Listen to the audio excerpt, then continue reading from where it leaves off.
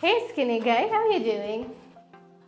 Okay, don't take it too hard, but it's true, you're skinny. Look, you look like Slender Man and you are making my sisters scared. You are skinny. And I think you should go to gyms or whatever. You know, maybe you'll just fail them. Your sister come?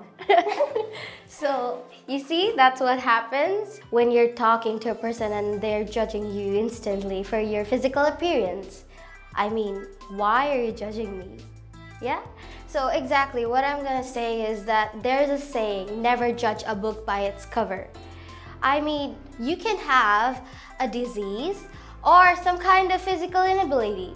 People judge people and others without knowing their uh, inside exte- they just like talk about their exterior motives but they don't judge about they don't even think about their inside things the inside beauty why do we not think about that. Why do we not why can we not change our perspective of looking at things in another way in a in their own kind of way?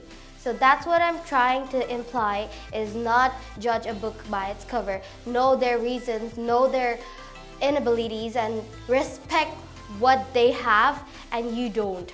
Always always always judge yourself before that do you have what it takes to be perfect because i know no one is perfect Everybody is imperfect and they have qualities of their own that you don't possess. So that's exactly what we say.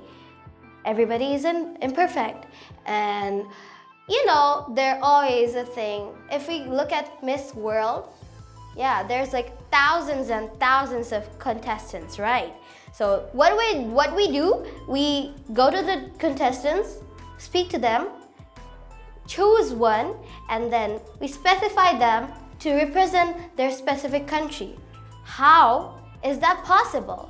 I mean, the contestant you're picking and the other one who's left out, they have different, different, different qualities, and you cannot judge someone to its like I need a model with zero figure and everything.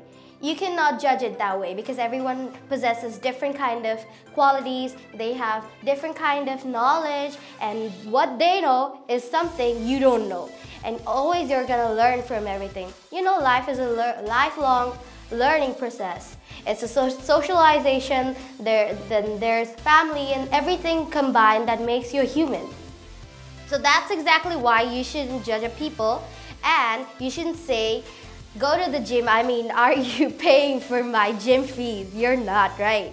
And gym isn't for me, it's for people who wanna be, who wanna try that out. Are you gonna try that out just because people, just because people are telling you to, right? So that's exactly what we're saying. Stop bragging about being at the gym. I mean, nobody cares. Thank you for watching me at TESOL.